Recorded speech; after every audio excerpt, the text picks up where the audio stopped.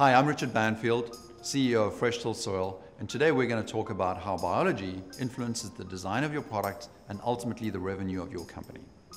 Unless you've got a crystal ball, you can't see what the future of your product line is going to be, especially if it's digital. It's probably changing every single day. So how do you design for an unknown future? So like my son says, when asked what he wants to do with his life, he says, how can I answer that question? The things that I'm going to be working on haven't even been invented yet. You have the same problem. You're designing for a future that you don't know anything about, but maybe you do.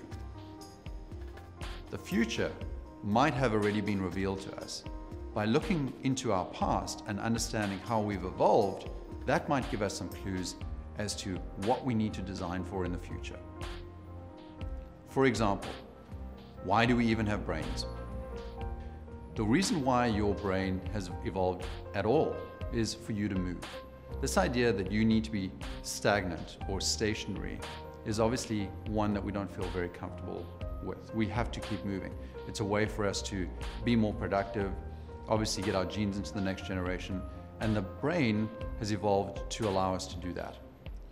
Now this thing that you're looking at is this disgusting thing called a sea squirt. This sea squirt has a brain while it's in its swimming form moving around the ocean. But as soon as it finds a coral reef that it likes, it puts its legs down and starts digesting its brain. That's evidence that you don't need a brain if you're not moving. And the same is true of us. So although we sit at our desks every day and stare at these desktops and even laptops, it's very far from our natural state. The desktop requires a modification of behavior. It makes us sit and do something that we're not comfortable doing. This is the throne that we built around the desktop, a home office, an entire space dedicated to a machine that takes us out of our natural state. Mobile is not just a technology, it's a state of mind, it's a state of who we are. We are mobile. The mere fact that we are these biological animals with a brain that allows us to move is the mobile state. The technology is trying to catch up to that state, not the other way around. So if you're thinking about how to design products, technology products specifically for the future, think about how technology has evolved. We've brought our technology to us in a way that it fits into our world, into our biology. Just think about those first hand tools. They're designed for us, our mobile state. And the, the tools that we have now that we're accepting into our day-to-day -day lives are just the same as those early tools. So as we move forward in the product line creation, you're going to start to see more and more tools that fit our lives. Wearable technologies like Google Glass, um, a lot of the tracking that we're doing with our day-to-day -day behavior, like the Fitbit, that kind of stuff is going to be moving with us as opposed to us moving with it. So let's think a little bit more about the biology because we've had this great insight into the fact that we're mobile and we can use that to understand the product line. The next thing we need to understand is that although we feel like we're logical people and we feel like we're in control of our emotions, we're actually very emotional. Almost everything that we do is emotional first and logical second. Most of our thoughts are actually streamed through a part of the brain called the amygdala.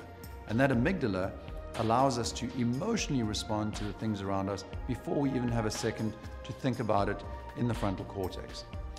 Brains make decisions when they are filtered through those emotions. In fact, if you remove that amygdala from the brain, you move, remove the emotional center of the brain, you are unable to make decisions. So it's very important that we understand that when we're building products, that we build a user experience or a user interface that takes into consideration those emotional parts of our thought process. Strong emotional connections lead to loyalty. We've also discovered through our understanding of neurophysiology that the stronger the emotional connection, the stronger the ability for us to build a habit, build a connection to the thing that we are doing or working with, and then build some kind of loyalty around that. So whether you're building a brand or trying to get somebody to behave in a way that takes on new behavior or new habits that connect to your product, you need to think about how those emotional connections can be strengthened and deepened in order to lead to a deeper loyalty with that product. We're also unique from other animals in that we can recognize a wide range of emotions in the face of another human being. Think about a dog or a cat. It doesn't really show a lot of emotion in its face, but a human being shows a massive amount of emotion in the face. That can work with us in order to help us design products, design messages, design marketing that can connect to our audience. Think about how those emotions change the way you think about the person that you're interacting with. Here's a good example. This site used different people with different emotions with the same message and they got a different response. The person with the happy smiling face got the highest response out of everybody. That just goes to show that that emotional connection that we're making is also recognizable in the face of others and using human beings in product design, in product marketing, helps us make that connection to the thing that we're most familiar with. We know that we can persuade people to do things. Sometimes we persuade them to do good things, and sometimes we persuade them to do bad things. That habit forming persuasion is an important part of product design, user experience design, and user interface design. What we do know from this persuasion technology or understanding is that timing is everything. So BJ Fogg has given us a model to understand this persuasion. On one axis, he said, let's motivate people to go from a slow uh, or low motivation point to a high motivation point. And at the same time, let's try and get them to go from, hey, this is hard to do to, hey, this is easy to do. Now, using this technique, this model, you can actually create a persuasive way for somebody to learn how to use your product. The deepest part of that engagement is the trigger. How do you get them to start interacting with you? How do you get them to initially move? Well, that trigger point is going to be different for everybody. But a good example of that is how does somebody feel um, how they interact with others? For instance, do they feel accepted by their group or do they feel regret, rejected by their group? That acceptance rejection trigger has actually been used by a lot of sites, including our social network sites, to drive people's behavior. If you feel like you're missing out, you will then go and start using that tool more often. And they use that principle, just like BJ Fogg has described in his model, to drive people's behavior. Having this experience has to be done at the right time. If the timing isn't right, it's not going to help you. That's why you see a lot of ads for gym memberships at the beginning of the year, because that's when you're making New Year's resolutions. That's when you're trying to change behavior. So the right ad at the right time is going to have great consequences.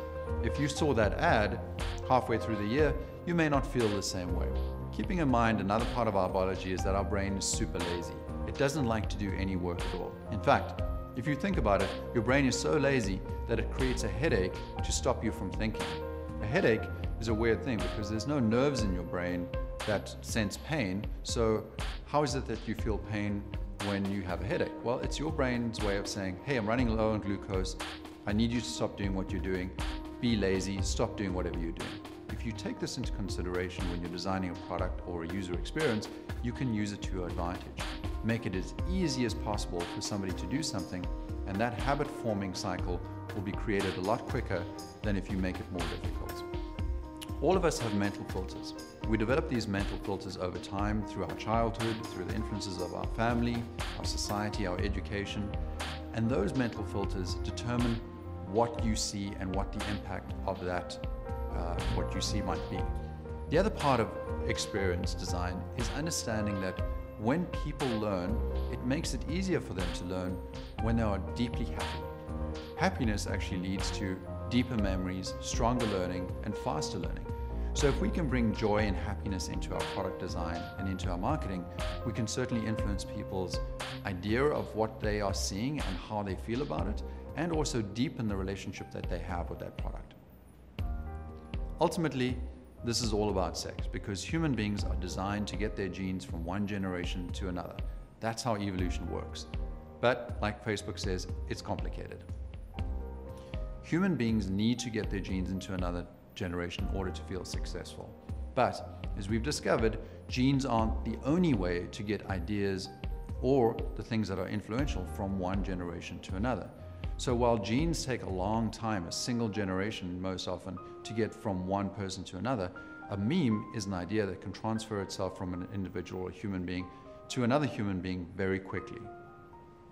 Understanding how memes work is important.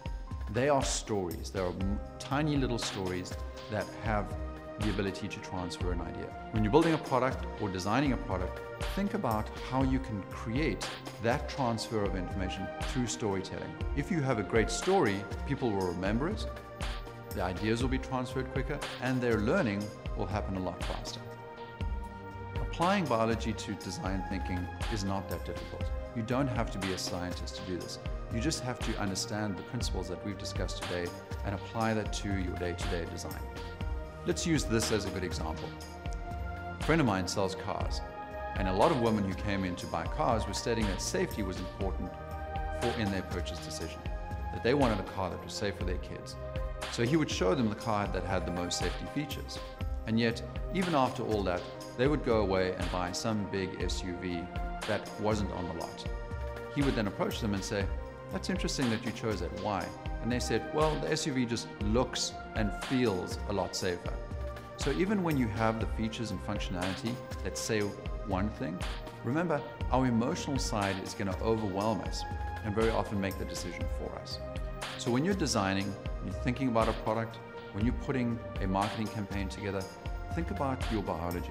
Think about how we've been predisposed to be mobile, to be emotional, to be completely overwhelmed by happiness and joy in our decision making. Think about what did my audience actually see? What did they actually feel? What motivated them? What's their story? And what's their irrational story? So thanks for your time. I hope you learned something about how biology influences the design of products and how that will ultimately influence your revenue as a product company. If you would like to find out more, we have a great blog, freshtilledsoil.com forward slash blog. We also have a fantastic weekly podcast entitled The Dirt, and you can find that on our blog as well. And if you'd like to follow us on Twitter, our handle is Fresh Tilled Soil. Thanks again.